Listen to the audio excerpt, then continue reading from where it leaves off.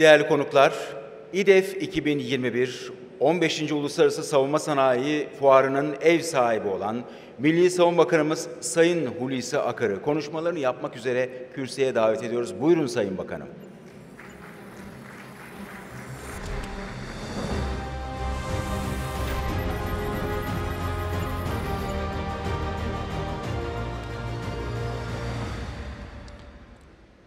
Sayın Cumhurbaşkanı Yardımcım, e, Sierra Leone'nin e, değerli Cumhurbaşkanı, çok değerli konuklar. Bu yıl 15. düzenlenen Uluslararası Savunma Sanayi Fuarı'na hoş geldiniz dileklerimi sunuyorum. Törenimizi teşriflerinizden dolayı şahsım ve bakanlık mensupları adına zat hallerine ve tüm değerli misafirlerimize şükranlarımı sunuyor ve değerli katılımcıları sizleri bir kez daha saygıyla selamlıyorum. Bu vesileyle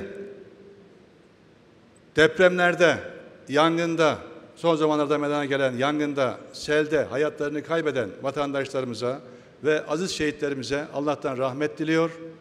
Yaralılarımız var, onlara acil şifalar diliyorum. Milletimizin başı sağ olsun. Bölgemizde ve dünyada savunma ve güvenlik alanlarında önemli bir tanıtım, pazarlama ve işbirliği platformu haline gelen bu büyük organizasyonun ülkemize, siz katılımcılara ve dost ve müttefiklerimize hayırlı ve uğurlu olmasını diliyorum. Bu vesileyle dost ve müttefik ülkelerin temsilcilerini ve dünyanın önde gelen savunma sanayi firmalarının yöneticilerini salgın şartlarına rağmen ülkemizde görmekten büyük bir mutluluk duyduğumuzu ve burada özellikle belirtmek istiyorum. Sayın Cumhurbaşkanı Yardımcım, savunma ve güvenlik konuları küresel ve bölgesel düzeyde yaşanan politik, askeri ve ekonomik gelişmelere bağlı olarak birçok ülkenin gündeminde ilk sırada yer almaktadır. Artık güçlü olmak için sadece günün koşullarına adapte olmak yeterli değil. Güçlü ve etkili olabilmek için geleceğin nasıl olacağını öngörmek ve buna göre proaktif tedbirler almak da gerekmektedir. Yarının dünyasında söz sahibi olmak isteyen ülkeler, savunma ve güvenlik stratejilerini güncel tutmak, risk ve tehditlere karşı hazırlıklı olmak zorundalar. Zira gelecek yıllarda harekat ortamının alacağı şekil, klasik yaklaşımlar ve geleneksel düşünme kalıplarıyla çözümlenemeyecek kadar zorlaşmaktadır. Bu kapsamda siber güvenlik, yapay zeka, büyük veri analiziyle robotik ve otonom sistemleri yakından takip ediyoruz. Şu anda sürü dronlardan kuantum radarlara, lazer silahlardan yönlendirilmiş enerjiyi kullanan silahlara ve mikro uydulara kadar pek çok ürün ve teknoloji kullanılmakta ve her geçen günde bunların kullanımı gelişmektedir. Ayrıca geleceğin savunma teknolojilerinde uzay ve siber uzay alanları da kara, deniz ve hava dışında önemli bir harekat alanı olarak karşımıza gel çıkmış bulunmaktadır. Özellikle siber sistemler alanında üstünlüğü ele geçirmek, diğer harekat alanlarında başarılı olmanın da ön köşe olacaktır. Bu nedenle teknolojik gelişmelerin lokomotifi olan savunma sanayinin önemi ve etkisi de her geçen gün artmaktadır.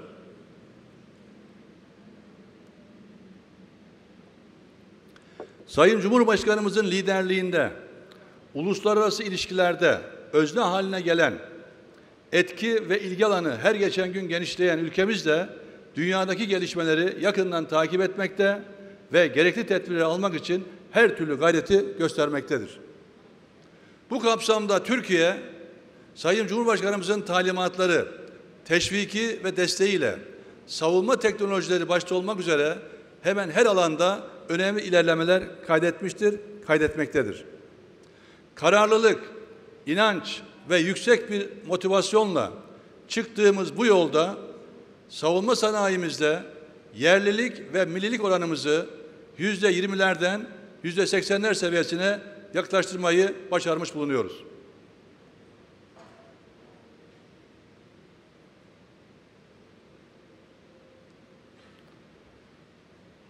Sayın Cumhurbaşkanım ancak geldiğimiz noktayı yeterli görmüyoruz ve daha kat etmemiz gereken mesafeler olduğunun farkındayız, bilincindeyiz. Çalışmalarımızı azimle, kararlılıkla ve yoğun bir şekilde sürdürmekteyiz. Amacımız milli değerlerimiz ve menfaatlerimiz üzerinde yükselen savunma sanayimizi etkin, yerli ve yenilikçi bir anlayışla çok daha ileri seviyelere taşımak, küresel ölçekte rekabet edebilir seviyeye getirmektir. Bu çerçevede yüksek teknolojiye dayalı savunma sanayi ürünlerinin tasarım dahil yerli ve milli imkanlarla üretilmesine malumları olduğu üzere büyük önem veriyoruz. Türk Silahlı Kuvvetleri'nin ihtiyaçlarını yerli ve milli imkanlarla karşılarken aynı zamanda tüm dost ve müttefiklerimizin ihtiyaçlarına da çözüm üretmek için elimizden gelen her türlü gayreti gösteriyoruz. Geçtiğimiz pazar günü huzurlarınızda açık deniz karakol gemimiz Akhisar'ın saç kesme töreniyle dost, kardeş ve müttefik ülke Pakistan'la ortak projemiz olan Milgem'in birinci gemisinin denize iniş törenini icra ettik. Diğer projelerimiz de hız kesmeden benzer şekilde sürdürülmektedir. Milli gemi, havadan bağımsız tahrikli denizaltı, fırtına ve poyraz sistemleri, panter obüsleri, radar ve elektronik harp sistemleri, ağır, orta ve hafif silah sistem ve mühimmatları, Atak ve Gökbey helikopterleri, Hürkuş, Milli Muharip Uçak Projesi, Atmaca, Bora, Kasırga, Hisar füze sistemleri, çeşitli elektronik harp sistemleri, İHA'larımız, SİHA'larımız, zırhlı araç projeleri, yerli ve milli savunma sanayi vizyonumuzun neticesi ürünlerimizdir. Gururla ifade etmek isterim ki bu projelerin sayısı her geçen gün daha da artmaktadır. Asil milletimizin sevgisi, güveni ve duasından aldığımız ilhamla ve direktifleriniz doğrultusunda yılmadan, yarılmadan çalışmaya devam edeceğiz. Sayın Cumhurbaşkanım, yurt içi ve sınır ötesinde başarıyla icra edilen harekatlarda Doğu Akdeniz'de ve Ege'de hak, alaka ve menfaatlerimizin kararlılıkla korunmasında ve Türk Silahlı Kuvvetleri'nin birçok coğrafyada üstlendiği görevleri başarıyla yerine getirmesinde yerli ve milli imkanlarla üretilen silah sistemlerimizin katkısı açıkça görülmüştür, görülmektedir. Başta yerli ve milli İHA ve olmak üzere Türk Silahlı Kuvvetleri tarafından kullanılan ve bunlar kullanılarak sahada yeteneklerini ispatlamış bu silah sistemlerimizi uluslararası standartlarda tasarlayan, üreten ve ihraç eden yerli ve milli firmalarımız dünya devleriyle yarışır hale gelmiş, milletçe gurur kaynağımız olmuştur. Biz insan kaynağımıza, potansiyelimize ve bunu güce dönüştürecek savunma sanayi firmalarımıza gerçekten güveniyoruz. Kamu, vakıf kuruluşları, özel sektör ve üniversitelerimizin işbirliğiyle kritik projelerde azami ölçüde yerli ve milli bir savunma sanayine ulaşacağımıza ve ülkemizi uluslararası alanda teknoloji ihraç eden güçlü bir ülke konumuna taşıyacağımıza da bütün kalbimizle inanıyoruz. Sayın Cumhurbaşkanım, biliyoruz ki üretilen silah ve sistemler ne kadar güçlü olursa olsun en etkin savunma dostluk, kardeşlik, barış, istikrar ve güçlü işbirlikleriyle sağlanıyor. Bu açıdan dost ve müttefik ülkelerle askeri alanda ve savunma sanayi konusunda işbirlikleri kurmaya ve anlaşmalar yapmaya büyük önem veriyoruz. Zira Türk özel sektör kuruluşlarının yanı sıra yabancı girişimcilerin ülkemize yaptığı yatırımlar da savunma sanayimize büyük bir katma değer kazandırmaktadır.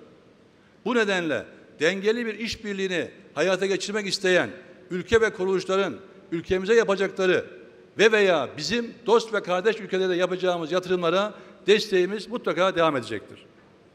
Amacımız savunma sanayi alanında fayda maliyet analizi titizlikle yapılmış projeler geliştirerek işbirliği çalışmalarımızı en üst noktalara taşımaktır. Dolayısıyla İDEF'te savunma sanayi alanında işbirliklerinin başlatılmasının ve geliştirilmesinin önünü açacak anlaşma ve protokollerin imzalanacak olmasından da büyük bir memnuniyet duyduğumuzu burada belirtmek istiyorum. Nitekim fuara 83 ülkeden 163 heyet ile 700 yabancı olmak üzere toplam 1238 firma katılım sağlayacak. Bu kapsamda toplam toplam 100 civarında anlaşma ve mutabakat metni imzalanacaktır. Sayın Cumhurbaşkanım, yerli ve milli savunma sanayinin gelişimine vermiş olduğunuz önem ve destekleriniz için zaten devletlerine bir kez daha saygılarımı ve şükranlarımı sunuyorum. İDEF 2021'e iştirak eden tüm katılımcılara ve bu organizasyonun düzenlemesinde emeği geçen herkese yüksek müsaadeleriyle teşekkür ediyor.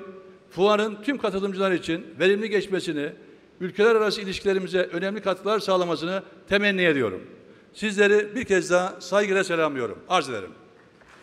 Milli Savunma Bakanımıza teşekkür ediyoruz.